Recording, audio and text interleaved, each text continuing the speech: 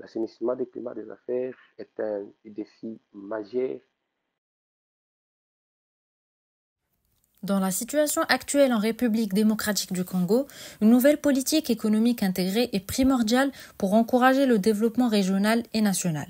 Les défis sont nombreux, de l'accès limité au financement pour les projets innovants à l'insuffisance des infrastructures, en passant par la nécessité de promouvoir l'agriculture et l'industrialisation.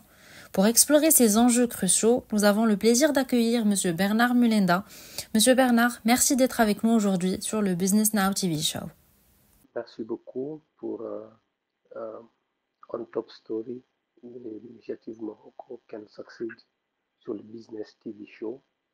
je suis euh, M. Bernard Koubabezaga Modenda, président fondateur de l'Organisation panafricaine de développement Actions for the Development of Africa. Merci beaucoup pour cette occasion, cette opportunité que vous m'offrez pour pouvoir partager mes idées pour euh, ma compréhension après le Katanga Business Meeting euh, qui s'est tenu à la République démocratique du Congo, plus précisément euh, dans la province de Lualaba et dans la province du Okatanga. Vous avez assisté aux discussions visant à définir une nouvelle politique économique coordonnée et intégrée lors du KBM. Pouvez-vous nous donner votre perspective sur les différents défis économiques auxquels la région du Haut-Katanga est confrontée et les opportunités qui pourraient être exploitées pour favoriser son développement?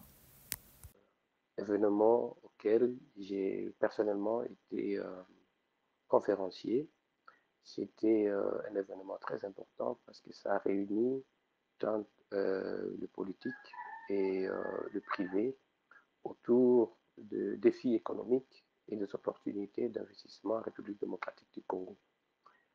Euh, de prime abord, euh, s'il faut déjà que nous puissions parler euh, de euh, comment nous trouvons, comment nous pouvons donner notre perspective sur les principaux défis économiques auxquels la région du Haut-Katanga est confrontée et les opportunités qui pourraient être exploitées pour favoriser son développement. Je parlerai euh, dans l'entrée des G de l'assainissement des climats des affaires. L'assainissement des climats des affaires est un défi majeur qui bloque pratiquement euh, le développement économique de la République démocratique du Congo en général et euh, cela impacte automatiquement le développement des différentes provinces. Quant à la province euh, du Haut-Katanga, qui est la province potentiellement minière, euh, avec un potentiel hydroélectrique et électrique très énorme, et nous avons pratiquement relevé beaucoup de défis, notamment les défis, les défis des infrastructures routières. Les défis des infrastructures routières est un défi qui bloque l'émergence de la province du Haut-Katanga. Et nous estimons que la politique ou nos dirigeants devront beaucoup plus se focaliser sur ces deux défis-là. L'assainissement du climat des affaires qui devra attirer la confiance des investisseurs, mais aussi la pénétration entre les différents sites et le relier aux, zones d'attraction, notamment des grandes villes, tels Lubumbashi, Kasumbalesa, Kolwezi, euh, Likasi, et relier les différents territoires au chef-lieu de la province de Katanga serait un atout majeur. Par exemple, existe-t-il des données chiffrées sur les secteurs clés de l'économie locale qui pourraient orienter cette nouvelle politique?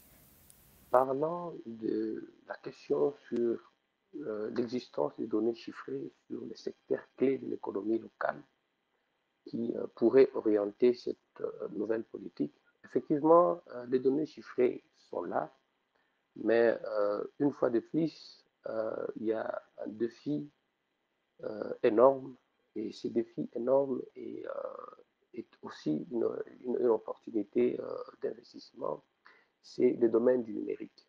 Le domaine du numérique est un domaine très clé pour le développement économique des différentes nations. Nous en avons connu autant. Mais euh, comparé à la situation de la République démocratique du Congo, les défis ou les domaine du numérique est un domaine qui est encore négligé. Ce qui fait que la plupart des données que nous avons ne sont que des données archivées manuellement et cela ne permet pas exactement à pouvoir connaître sur base d'une base de données les données chiffrées pour pouvoir permettre aux investisseurs de euh, s'imprégner de réalité euh, au niveau euh, du pays, si pas au niveau de la province du Haut-Katanga. C'est pourquoi nous en appelons une fois de plus à nos politiques, si pas au privé, de s'investir dans le domaine du numérique parce que c'est un domaine qui permettra à la République démocratique du Congo de s'intégrer dans le concert des différentes zones économiques euh, auxquelles euh, elle est euh, membre. Je cite ici la SADEC, le COMESA, le CAC, le EAC, la CHPGL. Donc tout ça là, ce sont des zones économiques auxquelles la RDC est membre mais par manque de, euh, données euh, numériques, nous avons du mal à nous adapter ou à nous intégrer euh, dans tous ces concerts des nations-là ou ces concerts économiques sous-régionaux.